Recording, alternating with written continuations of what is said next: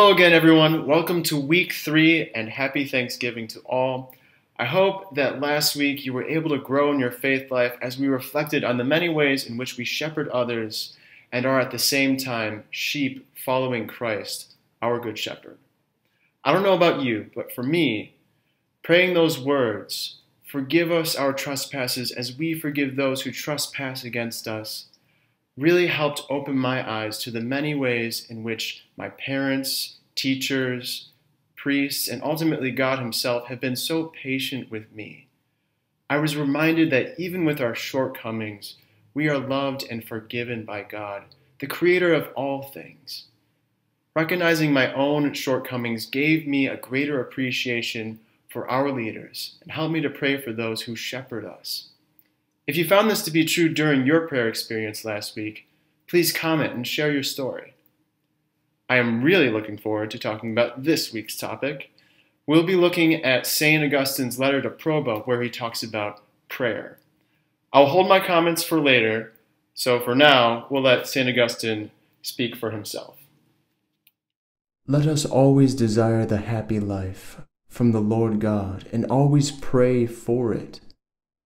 But for this very reason, we turn our mind to the task of prayer at appointed hours, since that desire grows lukewarm, so to speak, from our involvement in other concerns and occupations. We remind ourselves through the words of prayer to focus our attention on the object of our desire. Therefore, as the Apostle says, let your petition become known before God. This should not be taken in the sense that they are in fact becoming known to God, who certainly knew them but even before they were made, but that they are becoming known to us before God through submission and not before men through boasting. I want you to pause and ask yourself this question Is there anything that you can give to God that He hasn't given to you? Think about it. You may offer up your words of prayer to Him, but God has given you the air to breathe those words.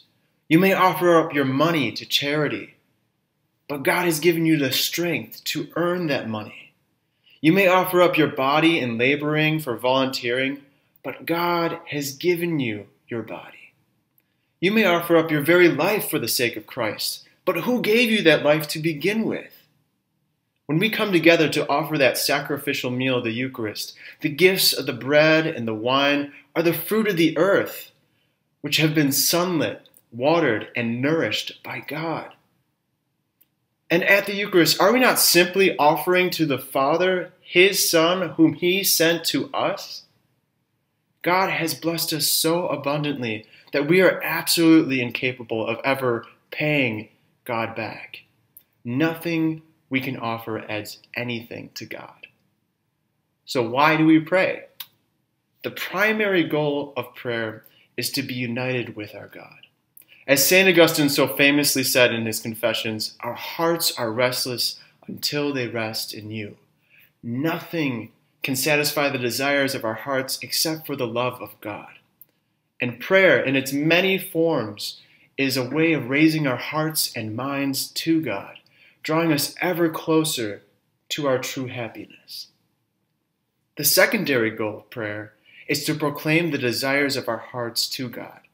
Again, this adds nothing to God. God knows our desires perfectly well, but He wants us to know our desires perfectly well. So that by acknowledging our needs and desires, we realize how dependent we are on our God.